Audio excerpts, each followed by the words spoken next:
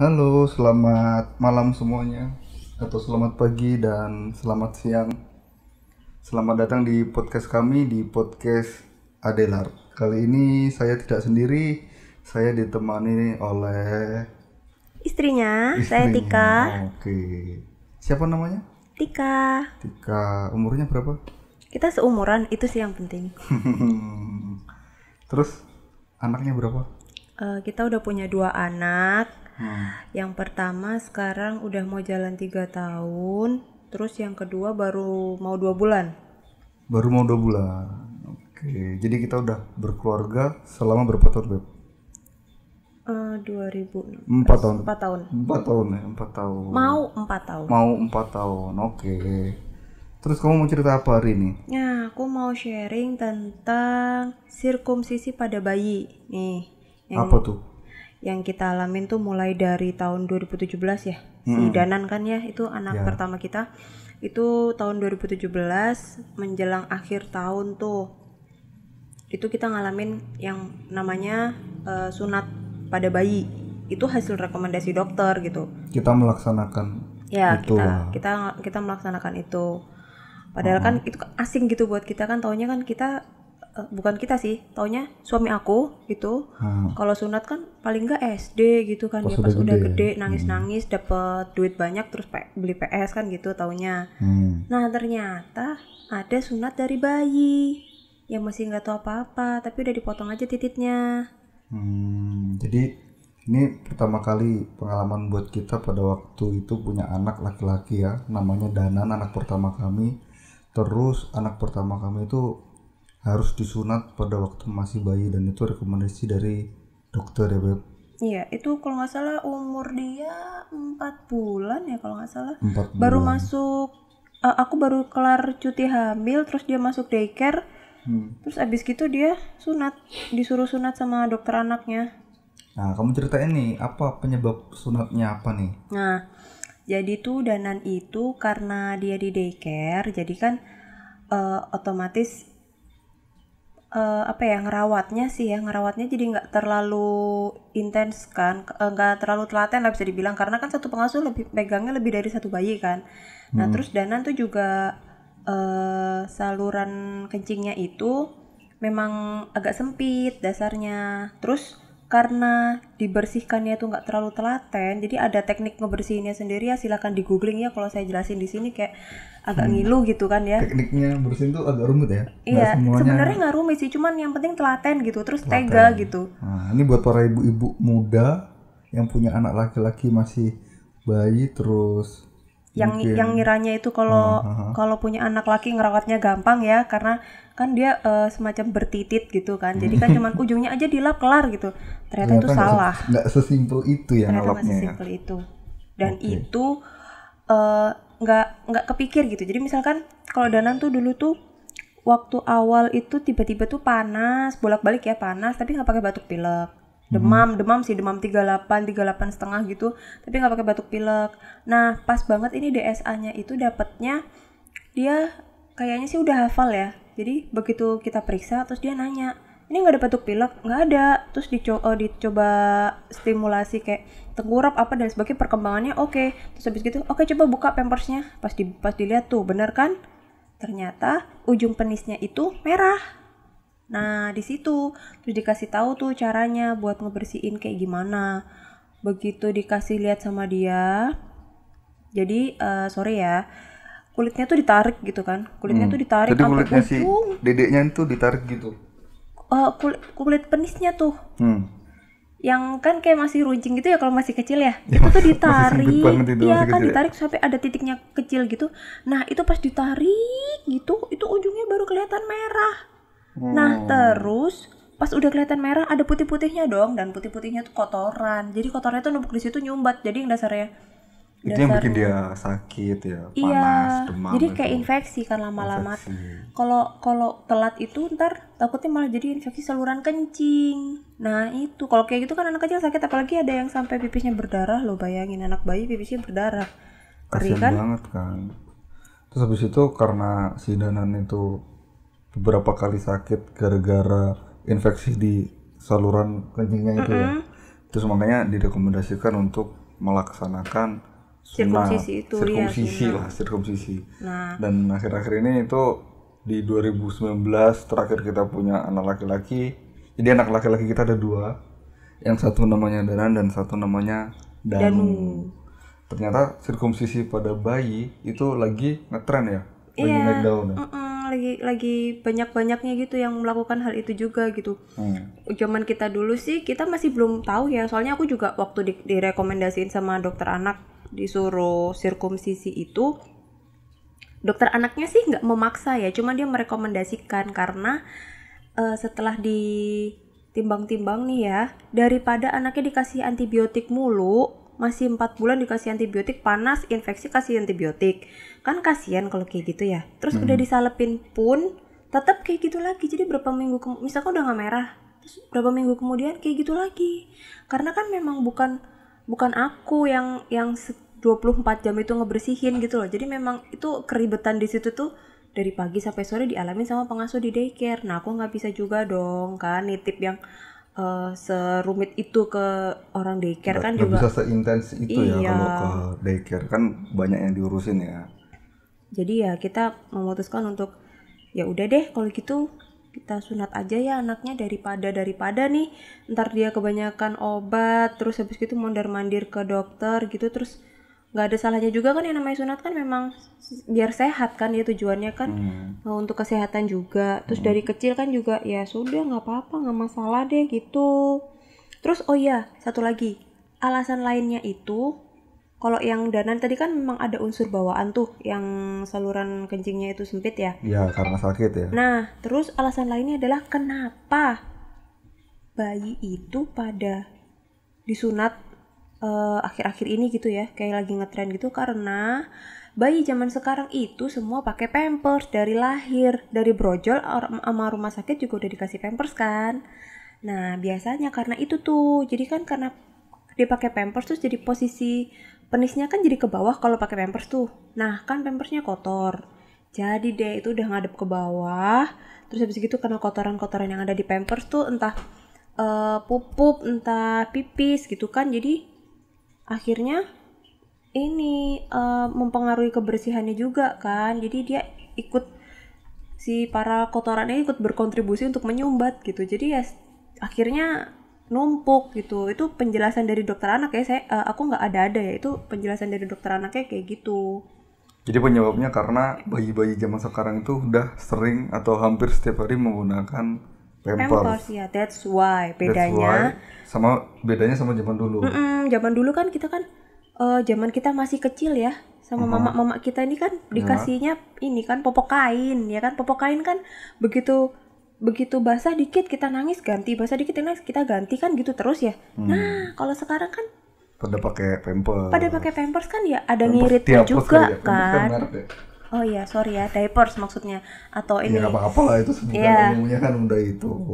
Terus eh kita kan juga mama kan pasti pada ngirit kan ah paling nggak 4 jam lah ntar diganti kan nggak mungkin juga tiap kayak eh eh, garisnya udah udah ini nih garis Udah- yang udah- di udah diapersnya udah ada warnanya terus ganti ya nggak mungkin dong apalagi kalau pupuk kan pupuk kan Hmm. kalau bayi kan begitu bread terus ada lagi bread ada lagi nyusul nyusul nyusul gitu kan. Kalau be- begitu baru bunyi sekali terus diganti kan nggak mungkin tuh. Nah itu tuh penyebabnya. Salah satunya tuh itu. Kenapa kok bayi zaman sekarang tuh direkomendasiin? Banyak yang lumayan banyak. Akhirnya teman-teman aku waktu aku tanyain gitu teman-teman aku yang baru baru punya anak baru punya anak setelah aku sunat eh, setelah anak aku sunat itu mereka juga ternyata direkomendasiin kayak gitu.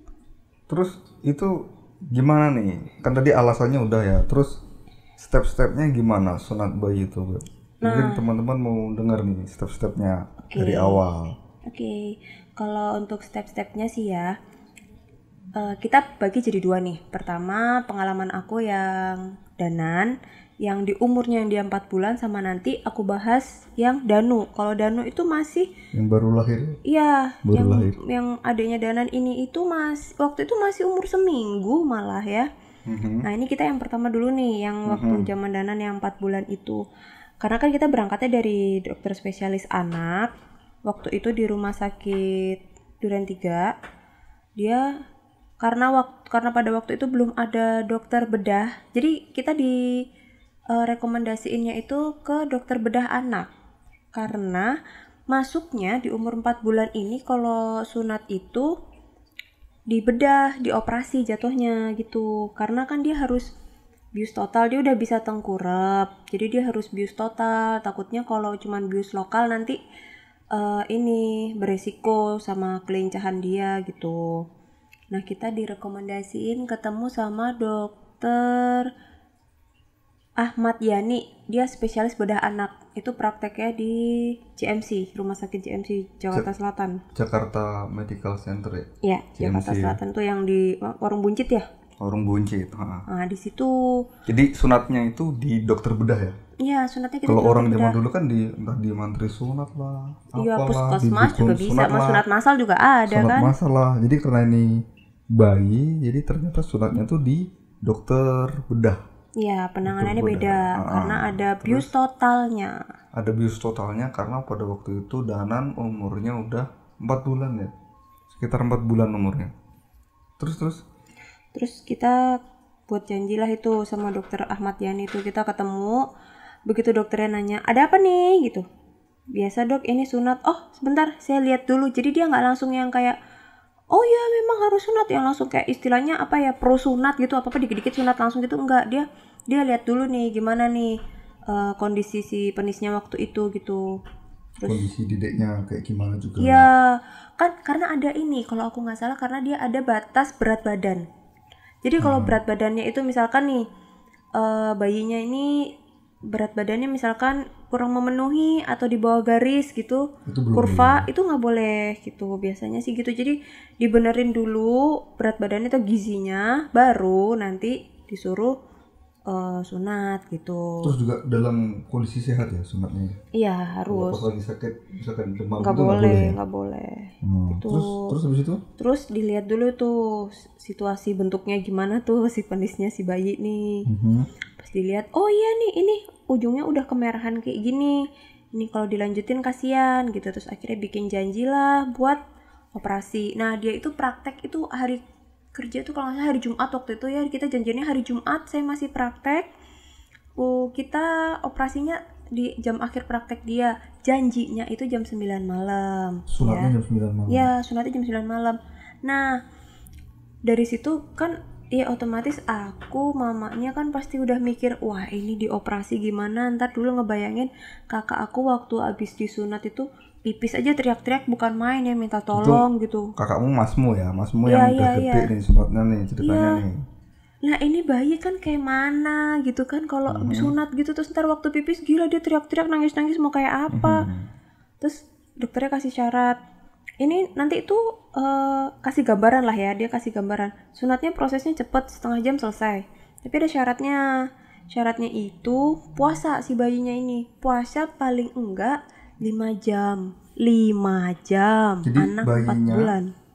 Eh, sebelum sunat itu harus puasa dulu selama 5 jam guys ya gitu ya Stop nenen. Stop Coba nenek bayangin. selama 5 jam bayangin ibu-ibu bayinya nenek stop nenek selama 5 jam pasti bakal nangis-nangis Nah, di situ kan kita mikir cuman kayak stop 5 jam. Oh, oke lah kalau gitu nanti dikenyangin, terus habis gitu diboboin gitu kan, digendong aja kelar gitu kan ya.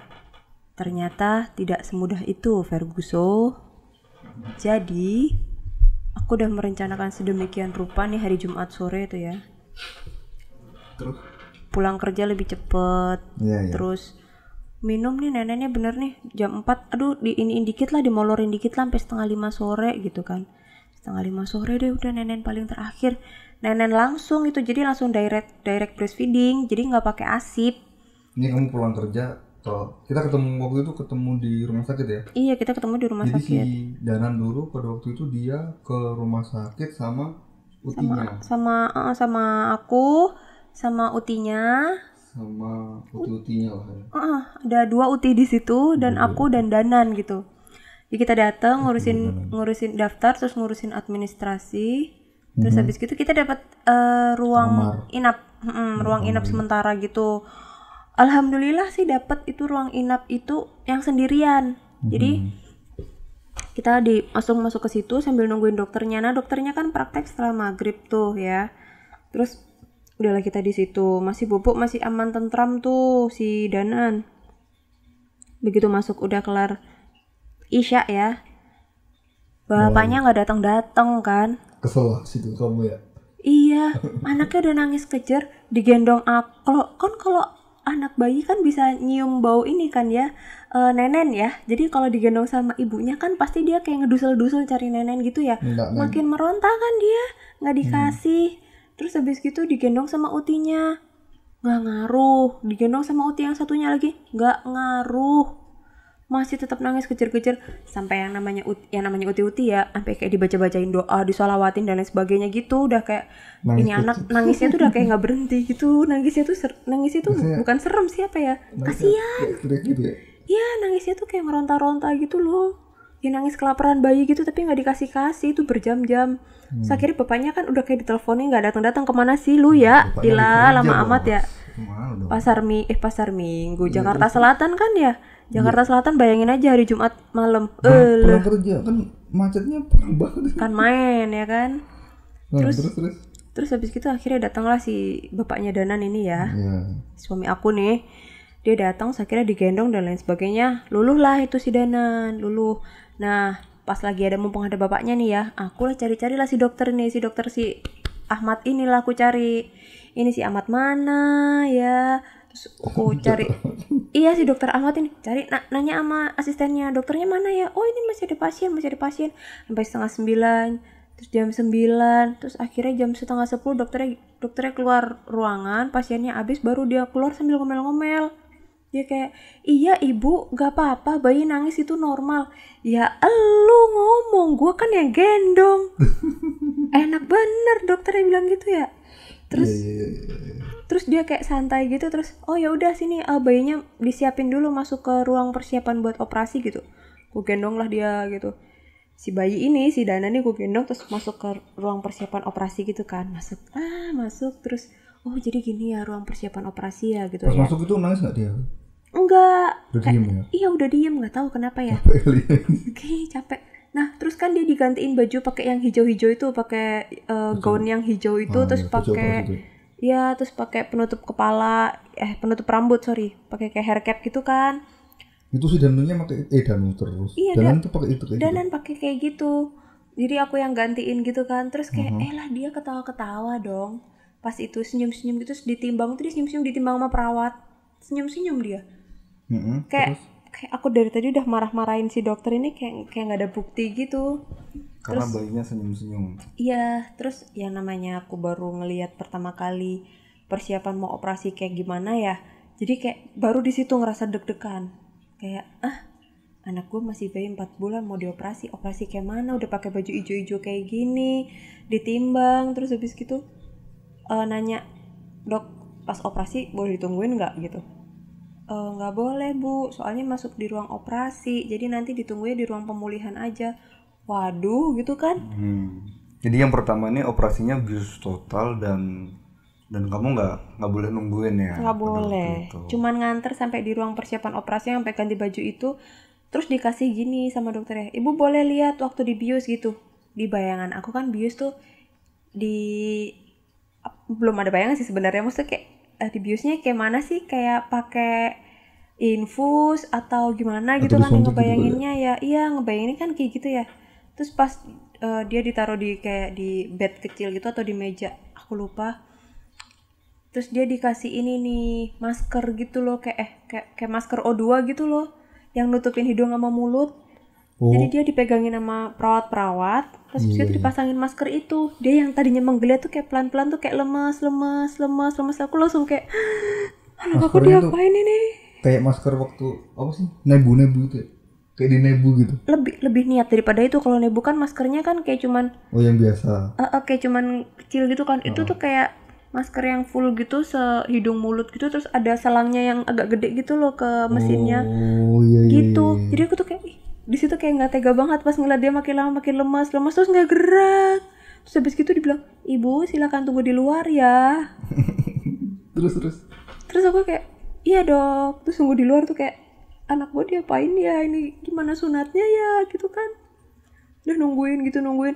Aku terus kamu sama uti-uti nih kan nungguin di luar ya. Sampai jam setengah sepuluhan tuh terus dikasih tau sama perawatnya keluar. Ibu Jam sepuluhan kali beb. Ya sekitar, Ya, sekitar oh, itu oh, ya. pokoknya setengah jam beneran Setengah sekitar jam. setengah jam beneran ya, lamanya. ya? Nah, terus ininya setengah jam kok operasinya terus dia eh, si perawatnya nih ibu eh keluarganya Muhammad Danan Jaya ya oh iya iya saya ini udah selesai eh, operasinya gitu ditunggu di ruang pemulihan gitu kan Mhm. terus yang boleh masuk cuma satu tapi di ruang pemulihan Iya iya iya. Kamu kamu aja. Iya Terus, yang masuk kan aku karena Habis itu neng soalnya. Iya, karena kata dokternya, ini nanti kalau dia udah mulai sadar, dia bakalan nangis teriak-teriak, terus mulutnya kering banget, karena kan dingin banget tuh ruang operasi ya. Heeh. Kering banget mulutnya, terus dicoba buat nenen. Kalau pas nenen dia nggak muntah, berarti dia baik-baik aja bisa langsung dipindah ke ruang inap. Tapi kalau muntah bakal diobserv lagi sama dokternya gitu. Hmm, berarti di situ dilihat apakah muntah atau enggak. Terus kalau muntah masih mau di observe observe lagi Ah, ya. diobservasi lagi gitu. Oke. Terus terus habis itu. terus udah dia tungguin terus dia mulai menggeliat menggeliat gitu terus dia nangis nangis nenen lah pertama tuh dia kayak nggak ngenalin gitu waktu di waktu nenen gitu Efek bius coy. iya waktu nempel di nipple tuh dia kayak nggak jadi kayak dia nggak mau nggak mau apa ya kayak nggak mau mingkem gitu loh jadi Masih kayak dia masih tuh lemes mangap dong terus kayak ah kayak gitu gitu dia. Terus habis gitu eh pas udah udah ku ini pokoknya sambil dipuk-puk dipuk-puk pelan-pelan gitu kan dia dingin juga kan. Iya iya. iya. terus eh akhirnya dia pelan-pelan gitu mau nenen nenen nenen gitu. Sambil aku tuh sambil nggak nyadar ngegendongnya ngegendong biasa aja normal. Pas aku ngeliat lagi eh! Oh kan titiknya berdarah-darah ya terus ditutup sama kasa doang. Jadi kayak di di di bawah pusar dia itu ada kayak kasa kasa steril biasa tapi di plester gitu loh di bawahnya pusar. Jadi tuh kayak kayak gorden tau gak sih? Kayak gorden kan Iya iya. iya. atasnya nempel gitu ya. Iya. jadi tuh bisa dibuka gitu. Iya iya iya. itu nutupin titit. Terus pas aku buka pas aku lihat lah pas lagi digendong pas lagi aku gendong itu kasanya nempel di tangan. Jadi kayak eh, di, di di di titiknya dia tuh kayak masih ada bekas-bekas kasa dikit-dikit gitu loh di di penisnya itu. Dan itu kan bentuknya masih kayak berdarah-darah gitu terus benangnya tuh kelihatan gitu. Hmm. karena teknik teknik sunatnya ini ya ya. Teknik sunatnya ini tuh karena untuk bayi kayak bayi dia itu masih kecil nggak pakai laser. Karena kalau laser takut banyak angus ya kan? Orang cuman segitu terus pakai laser lah. gitu. Angus lah itu kan habis bisa bisa ya terus katanya bekasnya ntar nggak bagus jadi akhirnya manual digunting manual terus dijahit gitu pakai benang jahit gitu eh benang jahit iya benar benang jahit buat buat Buat sunat. sunat lah. Terus habis itu si Danan nenen ya. Mm-mm, nenen dan alhamdulillahnya nggak muntah Nggak muntah. Hmm, nggak muntah. Terus dia mau nenen nenen udah kayak kausan banget gitu. Terus akhirnya kita pindah ke ruang inap. Terus kata susternya karena udah nggak ada apa-apa, nggak ada komplikasi apa-apa, nggak ada pendarahan juga. Iya, kita disuruh nunggu kayak satu jam. Kalau aku nggak salah inget ya satu jam ya di ruang inap itu kita tunggu nih ada pendarahan atau enggak gitu. Pendarahan tuh maksudnya kan di situ kan yang lagi berdarah-darah itu entah entah kesenggol atau apa tiba-tiba eh, jahitannya kenapa terus jadi berdarah. Nah itu maksudnya kayak gitu. Takut takutnya kan kalau langsung dibawa pulang kan ke- kenapa-napa ya ntar di jalan kenapa-napa balik lagi atau di rumah kenapa-napa balik lagi gitu kan. Hmm.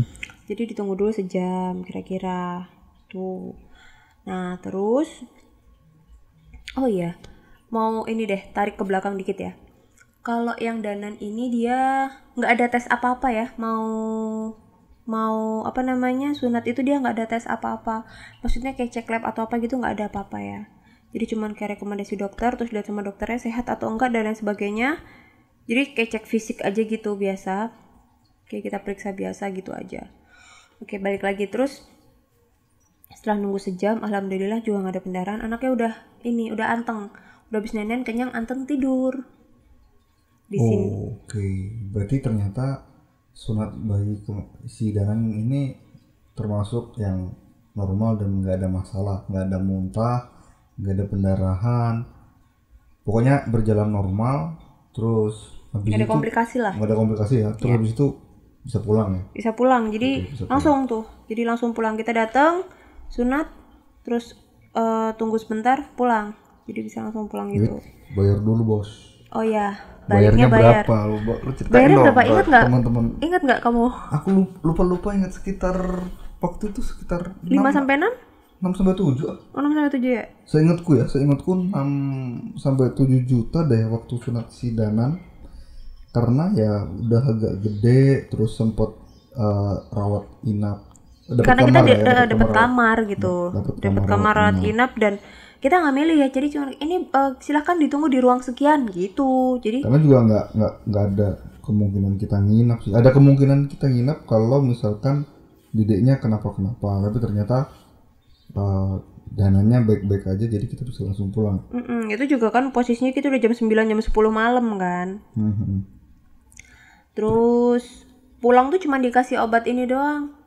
Eh paracetamol. Memang Tempra, antisipasi kalau dia kalau dia demam ya, gitu. demam gara-gara luka. pra sama salep udah gitu aja.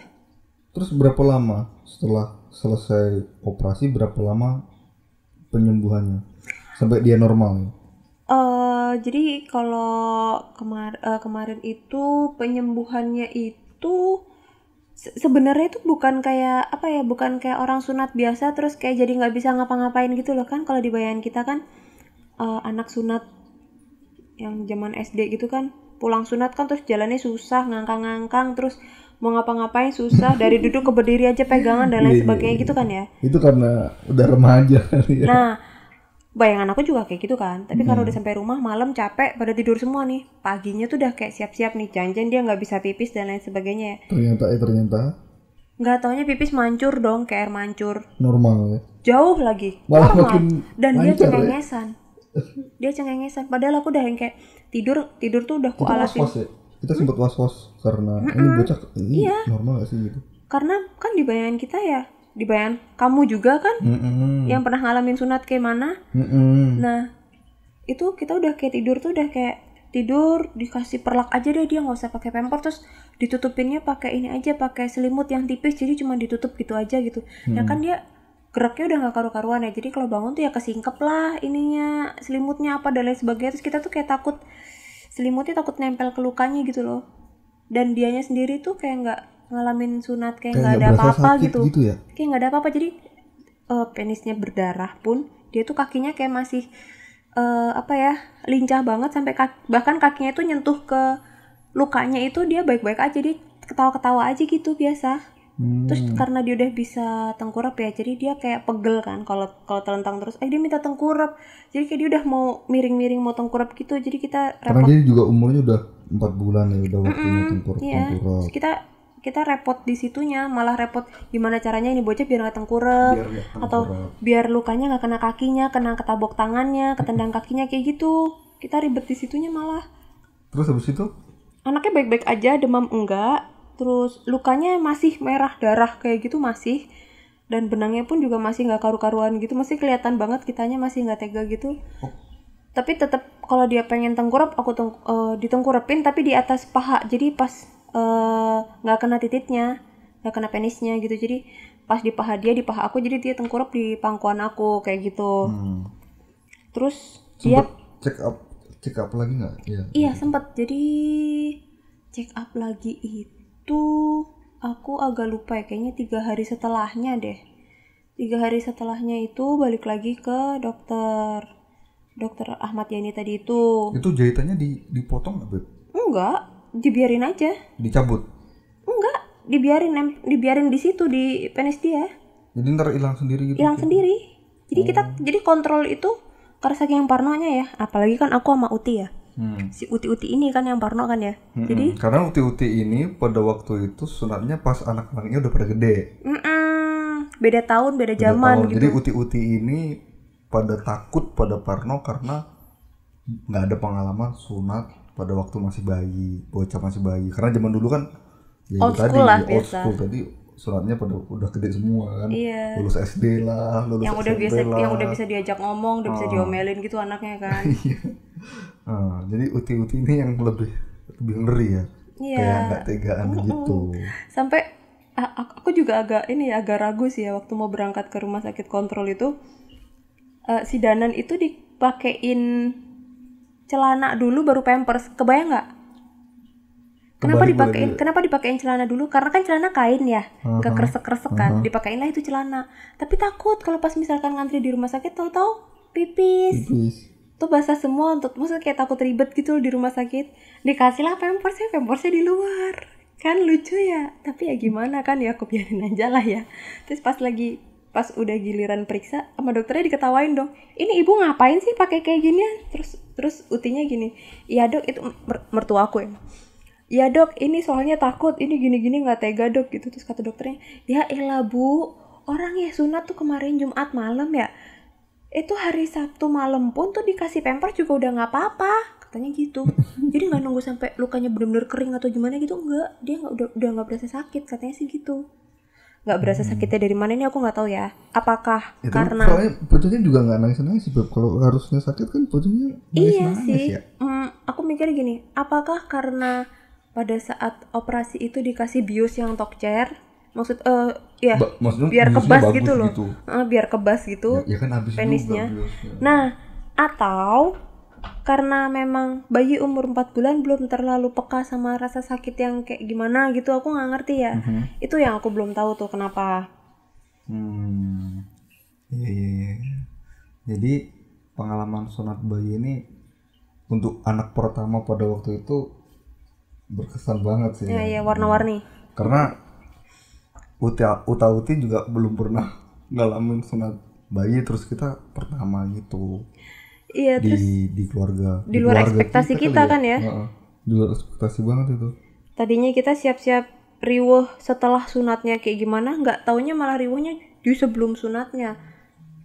Sama yang kita khawatir dia nangis-nangis dan lain sebagai kesakitan itu setelah sunat, nggak taunya malah dia nangis-nangis karena nggak dapat nenen 4 jam puasa gitu kan ya. 4 sampai 5 jam habis, gitu. habis sunat itu eh, sampai maksudnya after sunat kan kita sunat kan karena dia sering sakit karena infeksi di penisnya. Tapi ya setelah sunat alhamdulillah dia sehat ya. Sehat dan, dan dokternya aman-aman aja. waktu waktu kita kontrol itu dokternya pesan gini ibu eh, kan kita nanya terus dok kalau kayak gini gimana? Ya udah nggak gimana gimana ini anaknya udah sehat alhamdulillah sehat. Ibu saya pesan satu aja. Kalau nanti anaknya neneknya jadi banyak minum susu jatah minum susu dia jadi banyak jangan kaget. Karena kemarin misalkan ya dia sehari habis 10 kantong asip. Yang Mhm. yang tiga itu untuk ngobatin infeksinya. Jadi dia cuman ke, cuman keminum tujuh doang yang di yang dicerna tubuh dia. Pada saat dia sehat itu bisa lebih dari itu. Karena dia sudah nggak mengobati apa pun gitu. Jadi dia benar-benar eh, apa namanya lebih lahap lah istilahnya kayak gitu. Dan itu benar. Jadi dia bisa sampai 13-14 kantong asip jadi minumnya makin banyak ya habis disunat itu yep hmm. Terus sama kayak gini, pesannya yang satu kocak. Dokternya bilang gini, ibu jangan kaget ya kalau nanti pagi-pagi terus berdiri terus jadi kelihatan gede. Jangan kaget ya ibu ya. Dibilang gitu dong. titiknya bangun Iya. Anak 4 bulan titiknya bangun baru ini kan aku ngeliat. ya iyalah ya. hmm. Titit kecil mah baru ini ya. Titik kecil oke. Titit jadi kecil. si bayi 4 bulan udah bisa bangun kan titiknya kan gue juga baru tahu Aku juga baru tahu. Menjelang subuh ganti pampers nggak taunya ada yang nunjuk-nunjuk. Oh my god, apa ini? Gede banget. Untuk kayak kayak aduh pokoknya gitu deh kayak kaget. Ini bisa kayak gini. Anak aku kemarin nggak kayak gini waktu sebelum disunat. Pas disunat kenapa dia bisa jadi sebegininya natural begini banget ya ini laki banget nih kayak gini nih gitu Oke. Terus habis itu pengalaman yang kedua gimana kalau sama si Danan? nah ya kalau tadi danan itu Si endingnya Danu ya? yang kedua kedua, si Danu. ya. Hmm. lupa mulu ini danan danu nih ah Ketukar-tukar. endingnya kalau si danan itu cuman nunggu keringnya luka itu pokoknya lancar deh kayak nggak ada apa-apa gitu nunggu keringnya luka ya biasa aja gitu Alhamdulillah lancar ya. Eh makin lama tuh makin kebentuk makin kelihatan gitu cincinnya itu Mm-mm, mm-mm. itu makin rapi terus Kepalanya. bentuknya bagus iya kepala ujungnya kali ya nggak tahu ya pala apa sih pala helm bapak- helm apa sih Helm. Bapak ibu yang mendengarkan ini yang punya anak laki-laki pasti tahu lah.